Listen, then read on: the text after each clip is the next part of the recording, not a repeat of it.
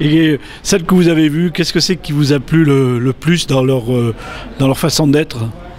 Ah ben, Je pense déjà à la solidité, le fait euh, qu'elle soit aussi euh, ben, un, cuir de belle qualité, donc on a les pieds confortablement installés dedans, voilà.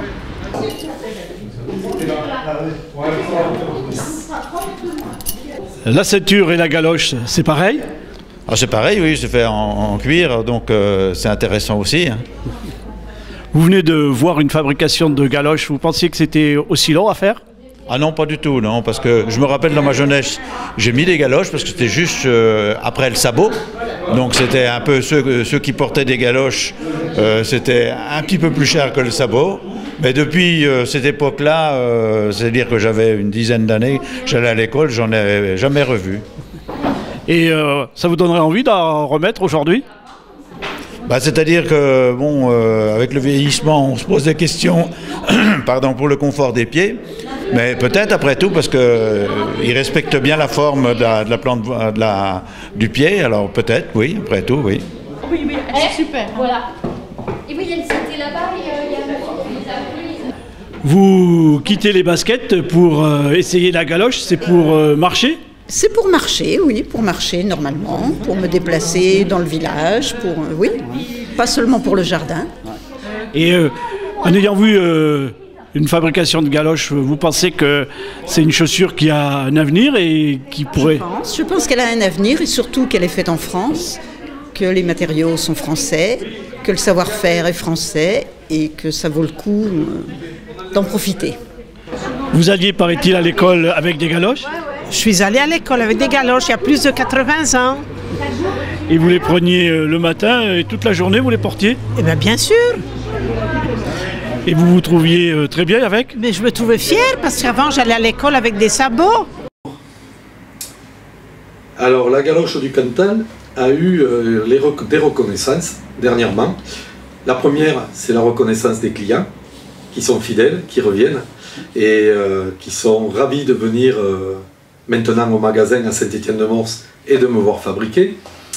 Et la deuxième reconnaissance, je viens de la voir le 26 mai, où la galoche du Cantal est labellisée Origine France Garantie. Euh, ce label, ça fait oui, une bonne année que je travaille pour l'avoir, et euh, nous l'avons obtenu au premier coup, au premier audit. Donc euh, oui, oui, je suis fier et fier de cette reconnaissance. Alors, euh, la galoche, c'est une chaussure à semelle de bois et une tige en cuir. Euh, la galoche n'est pas pareille que le sabot. Euh, le sabot, lui, est tout, tout, en bois. Et la galoche, elle, elle utilise deux composants, trois avec les pointes en acier. Et pour fabriquer une galoche, on est obligé d'avoir une semelle de bois et du cuir. Ayant visité le musée de Romans il n'y a pas très très longtemps, où une galoche du Cantal est exposée d'ailleurs. Euh, la galoche remonte jusqu'aux Romains, jusqu'aux Gaulois. On a retrouvé des traces de galoche. Alors euh, ça se dit Galicea. Euh, la galoche, elle est, c'est une planche en bois avec des brides en cuir. Alors fermée ou ouverte, mais c'est une planche en bois avec des brides en cuir. Voilà le début de la galoche. Alors la galoche était utilisée bien sûr pas forcément pour travailler parce que euh, il y a très longtemps, il l'utilisait comme chaussure euh, de tous les jours. Euh, c'était l'outil de travail, c'était aussi l'outil pour marcher tous les jours normalement.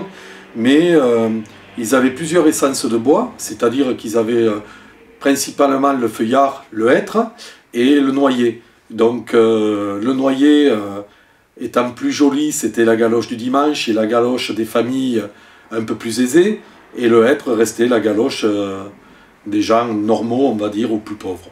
Euh, la galoche euh, a, eu plusieurs modèles sur le, enfin on va dire plusieurs genres sur le même modèle. On a eu la galoche fourrée avec de la peau de lapin dedans, on a eu la galoche légèrement montante pour les gens qui habitaient à la montagne pour les protéger les pieds de la neige ou des intempéries. Ensuite, on a eu avec des semelles noyées ou être toujours. On a eu euh, la galoche du ski. Euh, J'ai quelques modèles ici. On a eu euh, des galoches, bien sûr, avec glacé et doublées avec une petite langue dedans pour encore plus se protéger. Donc, selon les moyens que l'on mettait, je pense à, que l'on donnait aussi quand, on achetait la galoche aux galochiers, selon le prix qu'on les payait, on pouvait les faire beaucoup plus belles. Alors une galoche euh, aujourd'hui, elle est comme ça. Donc euh, ça c'est la galoche authentique qui se faisait il y a très longtemps. Euh, c'est un cuir verni, épaisseur 3 mm, tout cloué à la main, parce que je me fais fier de ça, c'est-à-dire que je suis le dernier galochier de France à clouer mes galoches encore à la main. Et donc on retrouve la semelle de bois, on retrouve le cuir, et tous les composants qui vont avec pour la fabriquer. Il euh, faut savoir que pour fabriquer une galoche, il y a à peu près 17 opérations. Euh, ces opérations sont, partent de la découpe du cuir, du traçage, de la découpe, de la couture de la bordure pour pas irriter le, le coup de pied, à la découpe du carton qu'il y a à l'intérieur pour faire le contrefort du talon, la découpe du talon, le rivetage, après, on fait le montage, on commence le clouage ou le cloutage, et ça finit par le montage des semelles, clouées, pas collées, et l'estampillage ici qui représente la galoche du Cantal. La galoche, elle est distribuée. Euh, alors, euh, quand j'ai repris l'affaire, euh, il y avait trois couleurs marron, noir verni et mat. Et euh, la galoche maintenant est distribuée euh, comme on veut. J'ai eu la chance euh, de rencontrer un tanneur qui me fait les couleurs qu'il veut. Donc si vous voulez une couleur bien à vous, on peut la créer. Je travaille avec une très belle boutique à Paris qui a voulu sa couleur, son étiquette, et, nommer la, la, galoche au nom de son établissement. On l'a fait, on a tout trouvé. Donc la couleur, c'est pas important. C'est ce que veut la personne qui est important. Et après, moi, je m'adapte.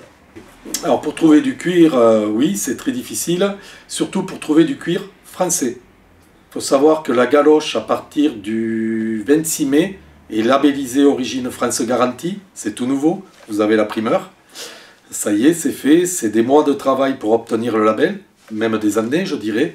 Euh, j'ai été labellisé euh, l'autre jour, audité et labellisé. Donc, ce qui veut dire que le bois le cuir, les pointes sont d'origine française et fabriquées en France, obligatoirement.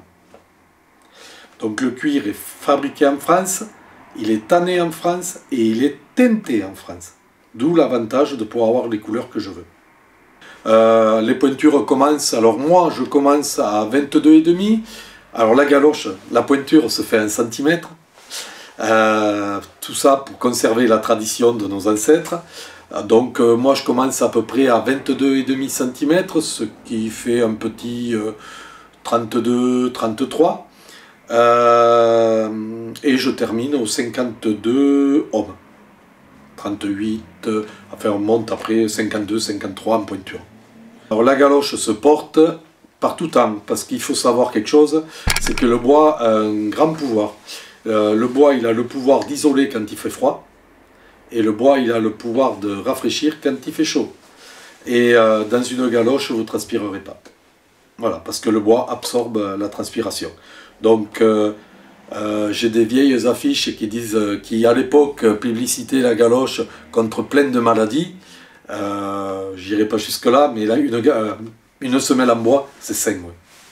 Les galoches peuvent avoir plusieurs couleurs. Et euh, comme je vous le disais tout à l'heure, les, les, les, clients sont friands de pouvoir aller supporter leur équipe euh, avec des galoches. Donc euh, dernièrement, j'ai fabriqué des galoches pour le stade toulousain, à la demande d'un supporter. J'en ai fabriqué aussi pour les supporters de l'ASM. Et la dernière création que j'ai faite, elle est un peu atypique. Il n'y en a qu'une paire de réalisées. Euh, c'est les galoches de l'équipe de France avec des vrais crampons. Donc euh, voilà la galoche de l'équipe de France. Euh, on va supporter les, les filles au football. Donc il faut savoir qu'il y a beaucoup d'heures de travail quand même. Voilà. Mais ça plaît bien et je trouve que c'est un petit clin d'œil à nos filles. voilà. Ce qui fait peut-être la différence avec d'autres, c'est qu'il faut savoir perpétuellement se renouveler. Euh, créer des galoches, mais créer des nu-pieds avec des semelles de bois, créer des petits sabots, alors sabots entre guillemets, on va dire des petits suédois, parce que on a la, comment on va dire, on a la, mauvaise habitude d'appeler ça des sabots, mais normalement ça s'appelle des petits suédois. C'est de la galoche, mais euh, ouverte derrière. Voilà.